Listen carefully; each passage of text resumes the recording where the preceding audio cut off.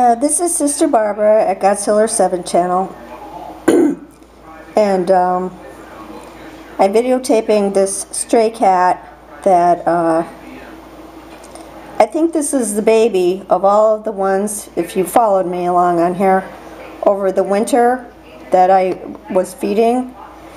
Um, we were flooded back in 2011 and I think someone lost their Siamese cat so probably after the flood, when um, the Siamese cat uh, came home, unfortunately, the family was gone. They probably were flooded out. Everybody pretty much left. Their houses were condemned. So there was a stray black cat and a stray Siamese cat.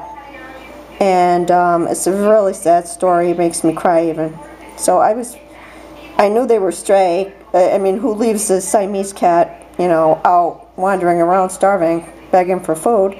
So I fed them, them all winter. And then I'm on the uh, local Crime Watch um, Facebook channel. And apparently somebody poisoned all the cats and they were finding all the little their little dead bodies all over. Isn't that a horrible story? So um, again, this is the baby. This is I think I remember seeing this little one from about six months ago. So every now and then if I have extra kitty food I put it out. And um, I open the door and I say here kitty, here kitty.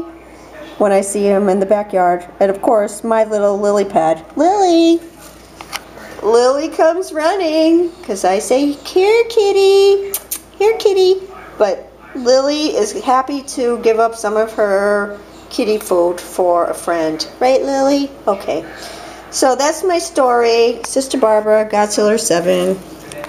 You know, I know somebody said when you feed a cat, it becomes your cat, but you can't get near them. And unfortunately, you know what, I guess whoever poisoned them will have to um, answer to the king for that. So God bless you all and be safe and be blessed. Amen.